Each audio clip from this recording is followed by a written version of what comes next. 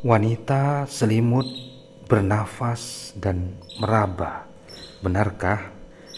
Yuk kita bongkar rahasianya setelah intro Mutiara Kehidupan.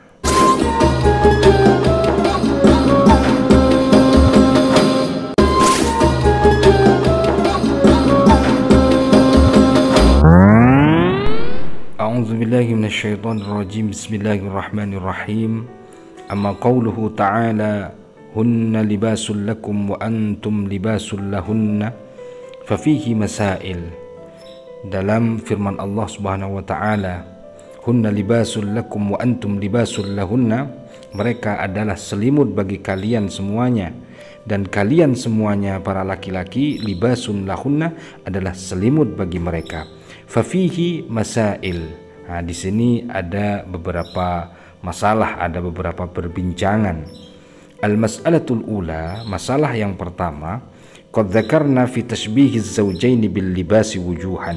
Kita sudah sebutkan di dalam menyerupakan kedua pasutri, pasangan suami istri itu dengan selimut itu ada beberapa sisi, ada beberapa pandangan seperti itu. Nah, yang jelas pasangan pasutri ini seperti Kak Maman dan Kak Mimin ini jelas adalah saling menyeliputi di antara keduanya. Jadi Kak Maman menjadi selimut bagi Kak Mimin, Kak Mimin pun itu adalah sebagai selimut bagi Kak Maman ya, agar tidak kedinginan. Nah, itu adalah kenapa diserupakan pasangan pasutri itu sebagai selimut. Nah, maka kita akan bincang-bincang tentang masalah selimut ini ya. Kita akan bahas tuntas uh, kalam dari Syekh Fahruddin Ar-Razi dalam kitab tafsir Ar-Razi beliau ya. Ahaduha salah satunya adalah annahu lamma kana ar-rajul wal mar'atu ya'taniqani ya. Ketika laki-laki dan perempuan atau suami dan istri itu ya'taniqani mereka berdua itu saling berpelukan. Fayadummu kullu wahidin minhuma jismahu ila jismi sahibihi ya mereka merangkul keduanya ya saling bersentuhan badan mereka itu. Hatta yasira kullu wahidin minhuma li sahibihi kathawbil ladzi yalbasuhu sehingga seakan-akan keduanya pasangan suami istri ini ya Kak Maman dan Kak Mimin ini seakan-akan seperti as-saubul seperti baju yang dikenakan yang dipakai Summiya kullu wahidin minhuma libasan. Oleh karena itulah mereka berdua itu dikatakan baju ya, libasul lakum. Qala Rabi' Imam Ar-Rabi berkata hunna firasun lakum wa antum lihafun lahunna. Hunna wanita-wanita itu adalah firasun lakum sebagai alas bagi kalian laki-laki wa antum lihafun lahunna dan kalian laki-laki adalah sebagai selimut bagi mereka para wanita para istri. Wa qala Ibnu Zaid hunna libasul lakum wa antum libasul lahunna Imam Zaid Ibnu Zaid berkata mereka adalah libasun pakaian bagi kalian dan kalian adalah pakaian bagi mereka. Yuridu anna kulla wahidin minhuma yastur sahibahu. Beliau mengharapkan bahwasannya dari keduanya itu ya saling menutupi ketika bersenggama ya. Yasturu sahibahu indal jima'i an absarin nas mereka berdua saling menutupi satu sama lain ya ketika berhubungan dan bercinta dari penglihatan para masyarakat dari penglihatan orang-orang. Nah, artinya menurut Ibn Zaid ini ya hunna libasun lakum wa antum libasul lahunna itu adalah saling menutupi ketika mereka itu berhubungan badan ketika mereka berdua Kak Mimin dan Kak Maman ini saling menutupi alias apa tidak kelihatan orang gitu loh. Jadi ketika mau berhubungan badan itu ya jangan sampai kelihatan orang. Di kamar kek di tempat yang tersembunyi kek di mana kek seperti itu. Yang penting apa? Yang penting tidak kelihatan oleh orang. Itu ya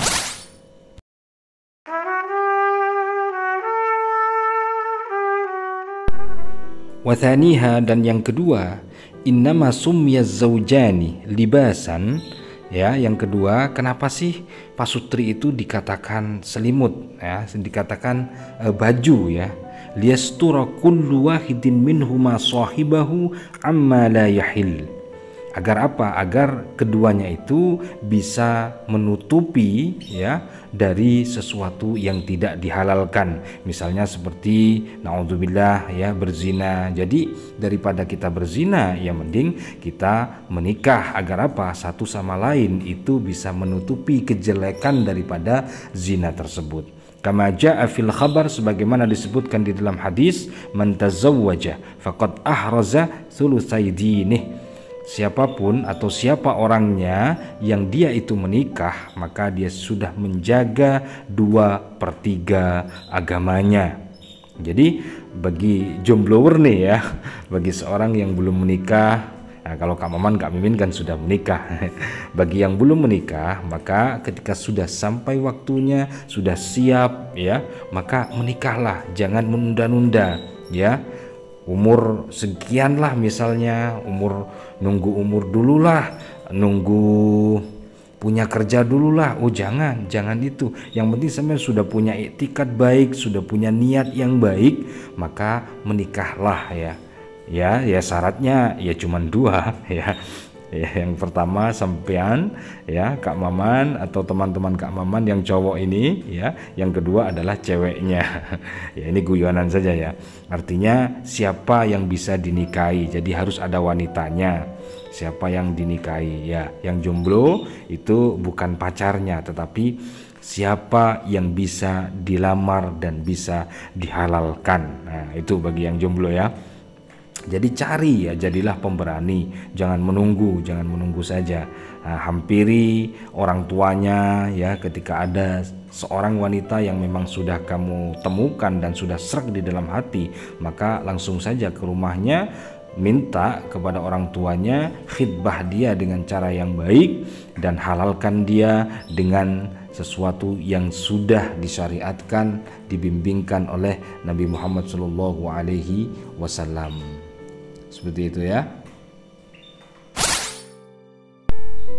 Wathalithuha dan yang ketiga annahu ta'ala ja'alaha libasan lirrajuli. Sungguhnya Allah Subhanahu wa taala menjadikannya menjadikan istri wanita itu adalah sebagai baju untuk laki-laki. Min haitsu innahu yakhussuha binafsihi Ya, sebagaimana dia itu atau suami itu menghususkannya kepada dirinya, kama yahussu libasahu binafsihi sebagaimana seorang suami itu menghususkan pakaiannya untuk dirinya. Wa yaraha ahlan li ayyulaqiya kullu badanihi kulla badaniha kama ya'maluhu fil libas dan memandangnya atau memandang seorang wanita itu sebagai ahli ya kepantasan untuk apa? Untuk mempertemukan semua badannya, badan seorang suami ke semua badan istri. Nah, kama ya'maluhu fil libas sebagaimana dilakukannya pada pakaian. Artinya pakaian itu kan bisa menyentuh ke semua badan suami. Nah, begitu pula istri. Istri juga bisa menyentuh semua badan suami ya, dari ujung rambut sampai ujung kaki ya, tengah-tengah, bawah ya, semuanya bisa dipakai. Nah, maksudnya artinya itu apa ya?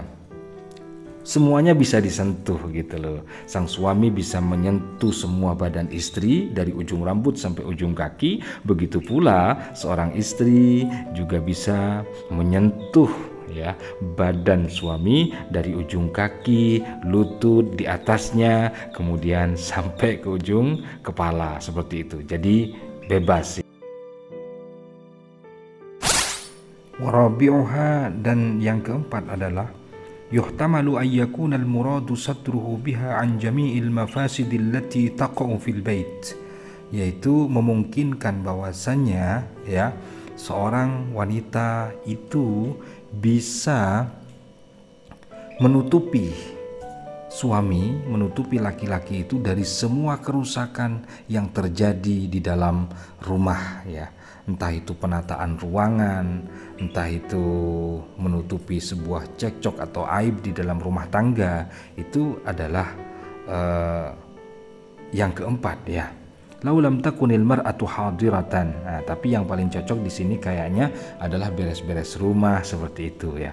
Seandainya wanita itu tidak ada kama yastatirul insanu bilibasihi anil harri wal bardi wa kathirin minal madar. Ya sebagaimana seseorang itu dia menjaga dirinya dengan libas dengan pakaian dari panas kemudian dingin dan dari beberapa kerusakan dan dari mara bahaya seperti itu. Nah, itulah peran wanita sebagai seorang istri di dalam rumah tangga itu. Dia bisa menyelamatkan seorang laki-laki atau suaminya. Nah, begitu ya. Itulah peran Kak Mimin ya kepada Kak Maman. Seperti itu. Bisa dipahami kira-kira? Oke, kita lanjut selanjutnya. Khamisuha dan yang kelima adalah dzakarul asammu anna al murada anna kulla wahidin minhuma kana kal libasi satiri lil akhar fi dzalikal mahdhur alladhi yaf'alunahu Imam Al-Asam menyebutkan bahwasannya yang dimaksud dengan hunna libasul lakum wa antum libasul lahunna itu adalah setiap dari keduanya dari pasangan suami istri Kak Maman dan Kak Mimin itu adalah sebagaimana baju yang menutupi antara satu dengan yang lainnya dalam sebuah kejelekan atau dalam sebuah malapetaka alladhi yaf'alunahu yang mereka lakukan Wahada dhaifun ya dan ini adalah pendapat yang dhaif. Li'annahu ta'ala awrada hadal wasfa ala tariqil in'ami alaina. Allah Subhanahu wa taala menyebutkan sifat-sifat ini adalah sebagai uh, nikmat kepada kita. Fa kaifa yuhmalu ala tasatturi bihinna fil mahdzur? Bagaimana uh, mereka itu dibawa dalam satu sisi pendapat ya untuk menutupi dari sebuah kejelekan-kejelekan. Nah, seperti itu. Maka ini menurut ulama adalah pendapat yang doif ya. Pendapat yang doif ya meskipun pendapat yang doif itu juga boleh diikuti dan boleh diambil manfaatnya juga.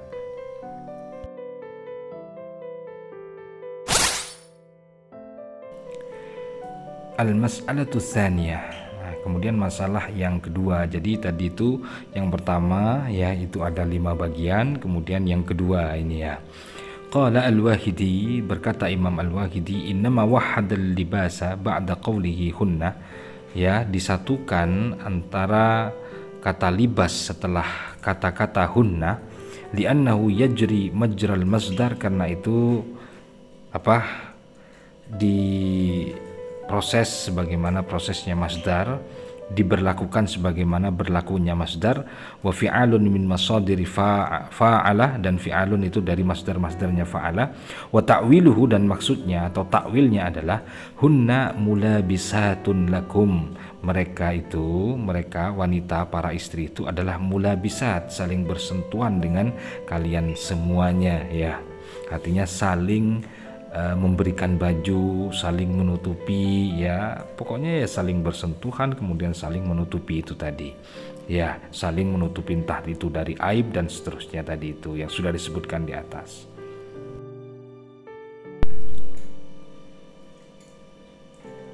Al-mas'alatu tsalisah kemudian masalah yang ketiga satu dua tiga yaitu qala sahibul kasyaf berkatalah imam yang mempunyai kitab al-kasyaf fa in kulta jika kamu katakan ma mauqi'u qawlihi hunna libasun lakum apa ya mauqi' tempat kejadiannya qawlihi hunna libasun lakum fanaqulu ya sebagai apa sih hunna libasun lakum itu? Fanaqulu maka kita katakan kata beliau sahibul kasyaf wal isti'naf itu adalah isti'naf kata awalan. Kal bayani lisababil ihlal sebagaimana menjelaskan sebab kehalalan.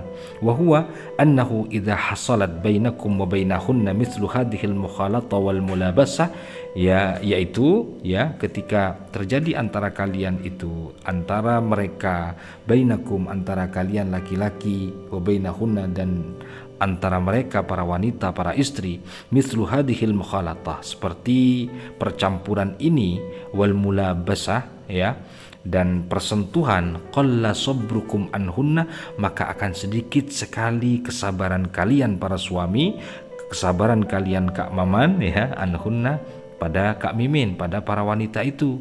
Wa alaikum ijtinabuhunna dan akan sangat sulit sekali untuk menjauhi mereka wanita ya Falidzalika rakhasalakum fi mubasyaratihinna oleh karena itu Allah Subhanahu wa taala memberikan keringanan bagi kalian para laki-laki para suami fi mubasyaratihinna di dalam mengumpuli mereka menggauli mereka bersama dengan mereka dengan etika yang baik dengan hubungan yang baik dengan kesopanan dengan kesantunan ya.